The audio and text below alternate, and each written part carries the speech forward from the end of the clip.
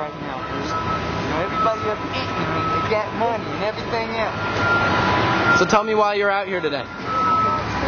Get us back to Hollywood Boulevard, man.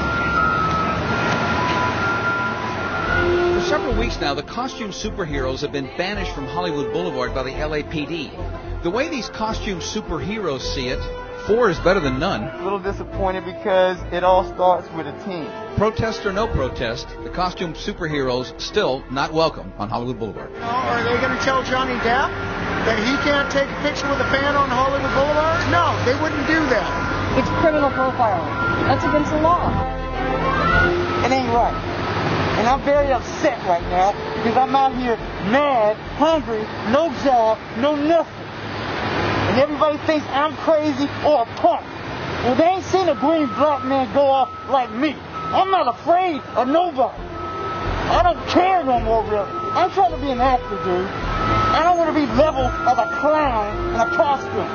Because that's not me.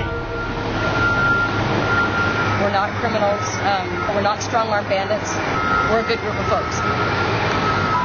Sold my Super Nintendo for a Greyhound bus ticket to come to Hollywood, California to make it.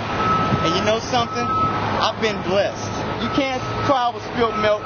You just gotta clean it up and move on and let the art heard.